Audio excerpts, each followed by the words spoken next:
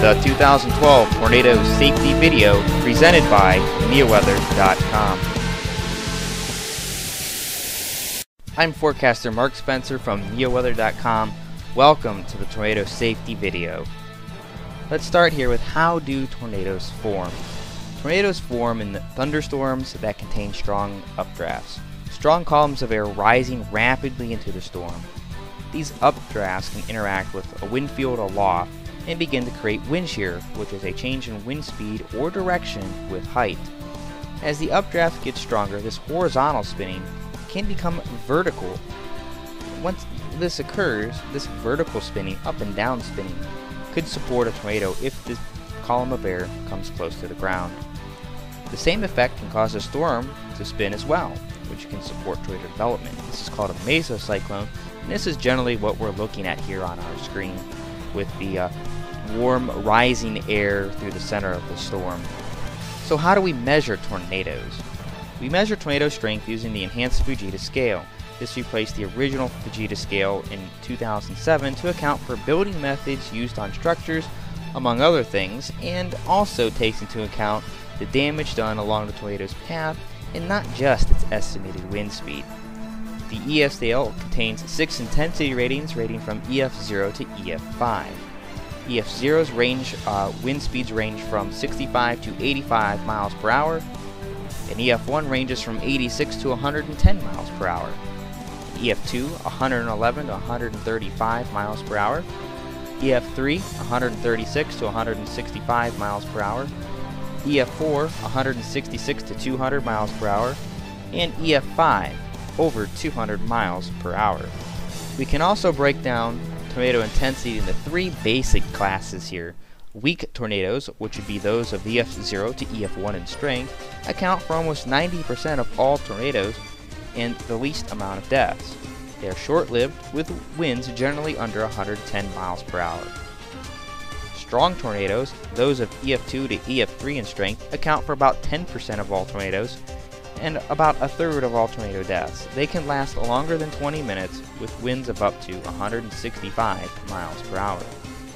Lastly, violent tornadoes, those of EF4 to EF5 in strength, account for only about 1% of all tornadoes, but have the highest amount of deaths around 70%. These tornadoes can stay on the ground for over an hour and cover several miles. Winds are greater than 166 miles per hour and can cause significant widespread damage. So let's take a look here at some safety tips. The first thing we want to uh, take a look at is the difference between a tornado watch and tornado warning. A tornado watch means that conditions are right for the development of thunderstorms, capable of producing tornadoes. Many times when a tornado watch is issued, no tornadoes develop. These are usually issued several hours in advance of severe weather developing or moving into the watch area. A tornado warning means that a tornado has been spotted either by a trained spotter, the public, law enforcement, or was detected on radar that a tornado could form at any time. On average, the lead time for a tornado warning is about 15 minutes. Keep in mind that tornadoes can form rapidly and a warning might not get issued until a tornado has developed. When a warning is issued, seek shelter immediately, as you may only have moments to act. Again, a tornado warning means a tornado is either imminent or occurring. Uh, a different term here is tornado emergency. This is being used a little bit more commonly these days, specifically within the past year. It's a statement issued in conjunction with a tornado warning regarding a storm that is producing a strong tornado in a high population area. It is special emphasis wording used to indicate that the storm is very dangerous and has caused or is causing serious damage, which is expected to continue and advises people to act immediately to seek shelter from the storm. Again, tornado emergency is issued along with a tornado warning. It's right in the same product. It means that a significant tornado is ongoing near a high population area. Also want to touch base here on tornado sirens. In Ohio, many communities use outdoor tornado sirens to warn residents when a tornado warning is issued, but this is not always the case. Some towns also sound their sirens for severe thunderstorm warnings. You should become familiar with your community's policy on when they sound their sirens and for what purpose. In most cases, these towns sound their tornado sirens for tornado warning. Some will also sound an all clear, although that is something not very common these days, but a few towns still do. Typically, different siren tones are used, and each type of tone has a different meaning. Remember, not all towns have tornado sirens, and there is no requirement for towns to have them. After all, they are very expensive to purchase and maintain. Recently, legislation was introduced into the state of Ohio legislature to mandate that all towns in Ohio with sirens sound their sirens for tornado warnings. And that is policy basically making this more uniform across the state. There's been confusion with people living near two different towns that have sirens, where one town is sounding for a severe thunderstorm warning and tornado warning, and another town is only sounding for tornado warnings, and it's hard to tell which town that siren is coming from. So they're trying to make this more uniform so it's much easier to remember as people travel across the state and hear these sirens. Everybody knows what it means. Again, become familiar with your town's tornado sirens. Okay, let's talk a little bit about tornado shelter. Where do you seek shelter if a tornado warning is issued? Well, the best place to seek shelter is a basement or a storm shelter if you have one of those. If you're in a basement, seek shelter under something sturdy, such as a staircase or a workbench. The idea here is to try to get under something sturdy that will protect you in the event something falls. If you do not have a basement, you want to seek shelter in a room towards the middle of your home, preferably in a closet or a bathroom. The idea is to put as many walls between you and the outside of your home. Stay away from windows and doors. Be sure to bring a blanket or something else to cover you. If you're in a mobile home, get out. Mobile homes are not safe, even if they are mounted to a foundation. They are not made to withstand strong winds, let alone a tornado. If you're in a vehicle or outdoors, the best thing to do is to try to get into a sturdy building quickly. Being in your vehicle is never safe, and you should never try to outrun a tornado.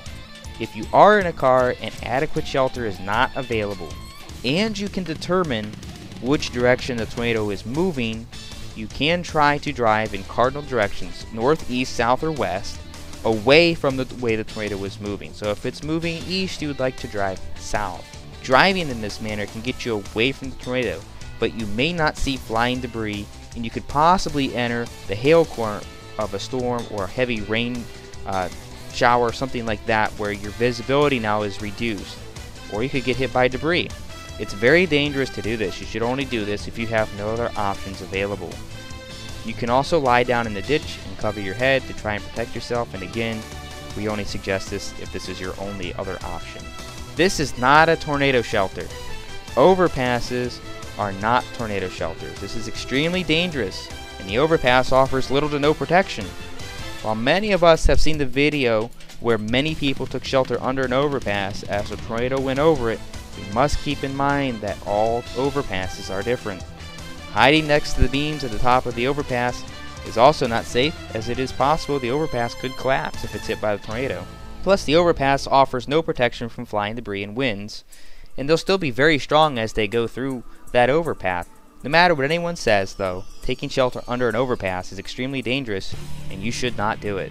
Alright, I want to talk a little bit about Ohio tornado history. Ohio is not a state known too much for having a lot of tornadoes. On average, we see about 16 tornadoes per year, with peak tornado season from April through July. Tornadoes, however, have occurred in every month of the year in Ohio. Some of the more historic events include the Xenia tornado in April of 1974 as part of the super outbreak, and May 31, 1985, the F5 tornado that devastated the town of Newton Falls. Along with that, many other smaller tornadoes formed that day near the Ohio and Pennsylvania border and caused severe damage into western Pennsylvania. Some of the other more notable events include July 12, 1992. We had the most tornadoes in one day. 28 tornadoes were recorded in Ohio. This was the most tornadoes ever recorded across the state. Many tornadoes formed across northern Ohio, and this caused significant damage across a large area. Fortunately, though, these tornadoes were on the weaker side, with no violent tornadoes recorded, and there were no fatalities and only 36 injuries. A little bit more recently, the November 2002 Van Wert tornado was rated an F4 that went through the city of Van Wert in northwest Ohio and caused significant damage to the town. It's one of the more stronger tornadoes we've had since 1985. This tornado also showed us that tornadoes can occur at any time of the year, and more recently we've also noticed a trend in early to mid-November where a brief warm pattern can spark severe weather across the region. Just more recently here, the September 2010 Wooster tornado was rated a strong EF3 and that caused significant damage to the town of Wooster and the OARDC campus of the Ohio State University Extension Office. Several buildings were damaged or destroyed, with a few of them completely removed from their foundations. And even more recently, the March 2, 2012 tornadoes in southwestern Ohio, that was part of a much larger system that moved through the lower Ohio Valley. We had mainly EF0 to EF3 tornadoes that moved through our state, with the town of Moscow, Ohio receiving substantial damage, and that was rated an EF3. And again, this is further proof that tornadoes can indeed form at any time of the year if the right conditions are present. There were several other tornadoes reported across southern Ohio as well that ranged anywhere from EF0 to EF2 in strength. NeoWeather keeps you ahead of the storm. NeoWeather strives to bring you the most accurate information when severe weather affects our area. Using our NeoWeather 3D Max Doppler radar, we were able to see inside the storm in 3D and tell you what the storm is doing. Many of the pictures on this uh, slide here show the three-dimensional pictures we can derive from the radar imagery. Using this state-of-the-art software allows us to quickly inform our viewers of impending severe weather and allow you to take precautions immediately. We also strive to provide as much lead time as we possibly can and we relay all National Weather Service watches and warnings. We also have our live stream to do this as well. We're streaming live our radar and we're able to tell you about all these warnings and show you exactly where they're at here on our radar. They pop right up immediately as, as soon as they're issued.